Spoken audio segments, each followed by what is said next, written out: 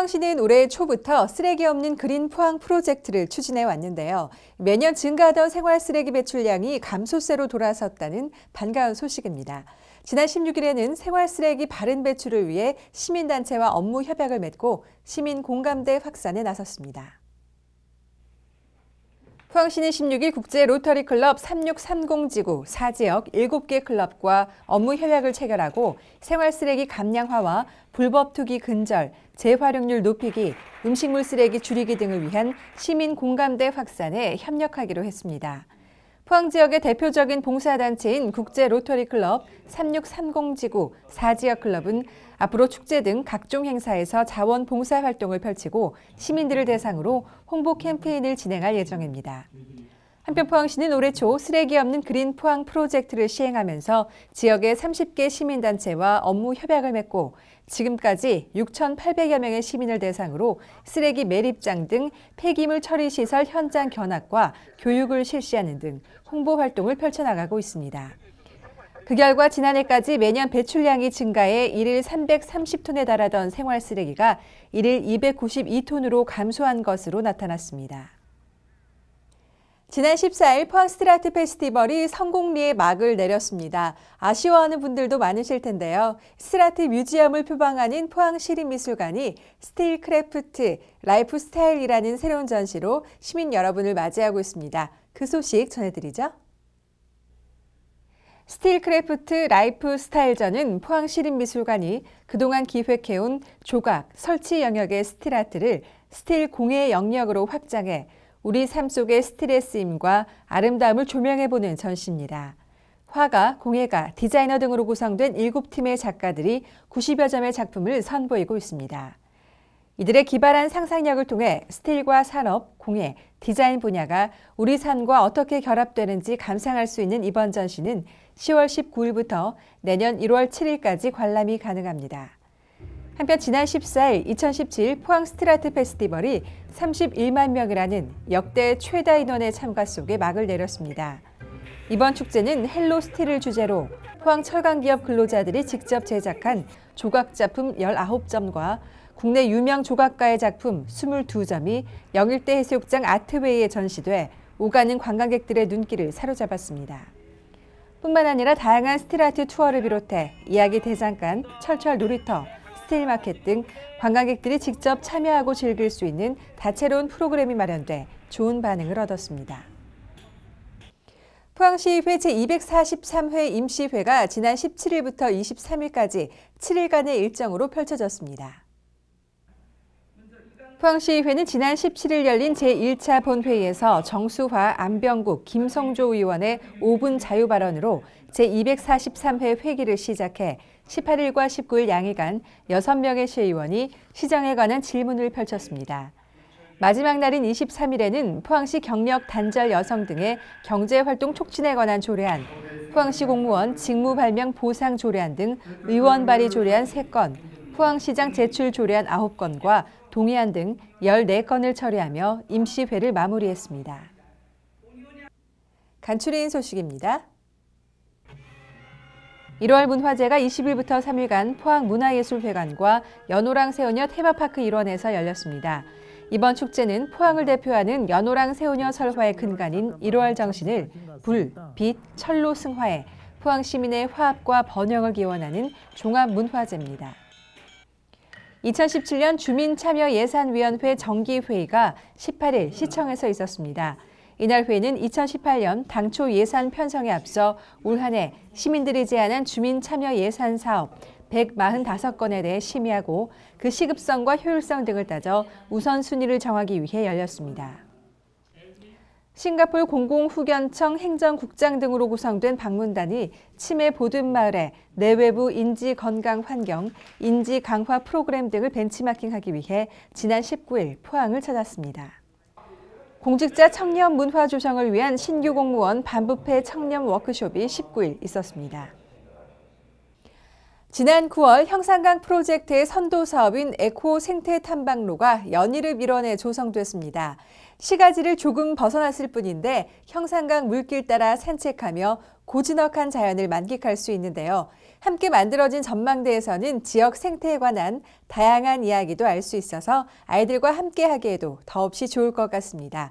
형산강 에코 생태 탐방로의 모든 것 포항 포스팅에서 소개해드립니다. 자연과 하나 되며 힐링을 누릴 수 있는 곳이 있습니다. 지역 생태관광 중심으로 떠오르고 있는 형산강 에코 생태 탐방로로 지금 떠나보시죠.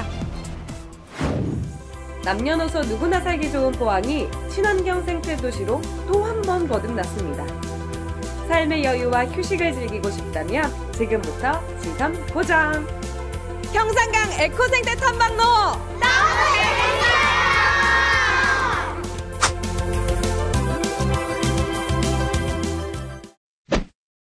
울산, 경주, 포항.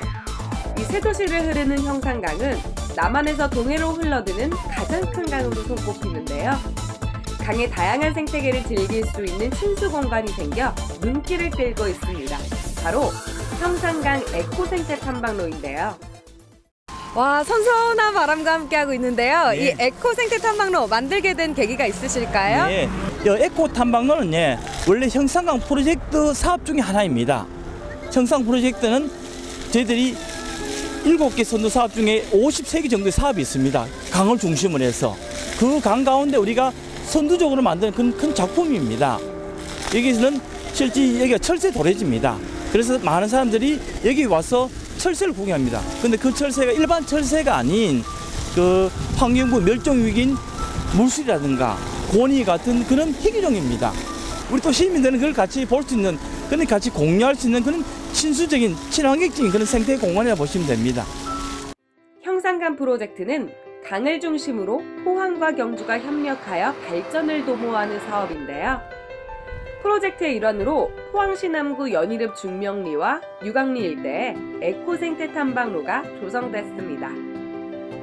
이곳은 멸종위기 조류가 겨울을 보내는 곳으로도 유명한데요. 강줄기를 따라 쭉 이어진 1.7km의 탐방로를 걷다 보면 자연과 동화되는 걸 느낄 수 있습니다. 안녕하세요. 네, 안녕하세요. 아니 어떻게 이 에코생태 탐방로 오게 되셨어요? 아, 주위에 살고 있는데요. 여기 자주 제가 시간 날 때마다 운동하러 와요. 실제로 와보시니까 어떤 게 좋은 것 같아요? 어, 강이랑 그다음에 왼쪽에는 이제 풀이랑 뭐 산도 있고요. 나무도 있고요. 꽃도 있고요. 계절마다 이게 좀 바뀌는데 그게 굉장히 좋은 것 같아요. 생태 탐방로 운동하기 되게 좋아요. 많이들 놀러 오세요. 에코생태 탐방로를 보다 제대로 즐기기 위해선 요트 모양의 에코생태 전망대를 둘러봐야 하는데요. 철새를 주제로 한 체험 활동을 즐길 수 있습니다. 평산강을 찾아오는 다양한 철새들을 실제와 같은 모습으로 만들어 놓아서 꼬마 친구들에게도 아주 인기인데요. 와, 우리 아이들과 함께 이렇게 견학 오셨나봐요. 실제로 와보니까 어떠세요? 네, 우리 유아들이 어, 교실에서 유치원에서 배우던 것들을 직접 현장에 나와서 보니까 정말 아름다운 자연 환경 그리고 책 속에 있던 것을 어, 직접 자연물로 보게 되니까 아이들이 너무 행복해하는 것 같아요.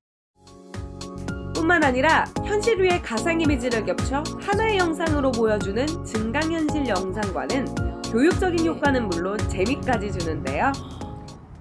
와, 아니 앞에 공룡들이 지나가요. 그렇죠. 여기가 AR 영상 체험실이에요. 네, 증강현실이라는 최첨단 기술을 활용해서 만든 영상인데요. 이 AR 영상의 가장 큰 특징은 우리 여기 서 있는 관객들이 영상 속에 있는 주요한 어, 이미지와 함께 교감한다는 거예요. 함께 상호작용해서 만져보고 느껴보고 함께 놀 수 있고 이런 재미와 유익함을 함께 줄 수 있는 그런 영상 이죠. 에코생태 전망대는 오전 11시부터 저녁 9시까지 무료 관람 형태로 운영되는데요. 2층 전망대에서 평산강을 찾아오는 수많은 철새들의 생태를 만환경으로 관찰할 수 있어 생태 체험 학습의 장으로도 각광을 받고 있습니다. 와, 가족들과 함께 이렇게 나오셨나봐요. 직접 전망대 올라와 보니까 어떠세요? 공기도 너무 좋고요. 오늘 특히 날씨가 너무 좋아서 기분이 너무 좋네요. 그리고 시야도 확 트여 있어서 다 보이니까 너무 기분이 좋아요. 형산강을 찾는 철새들을 관람하며 즐거운 시간을 보낼 수 있는 에코생태 탐방로. 낮은 물론 밤에도 경광 조명이 잘 되어 있어 특별한 매력을 뽐낸다고 하니까요. 시간을 내셔서 꼭 한번 들려보시면 어떨까요? 형산강 에코생태 탐방로는 자연과 문화, 관광 중심 도시로 도약하는 포항시의 또 다른 랜드마크가 되기에 너무나도 충분한 것 같은데요. 자연과 사람이 하나 되는 공간이 되길 기대해 보겠습니다.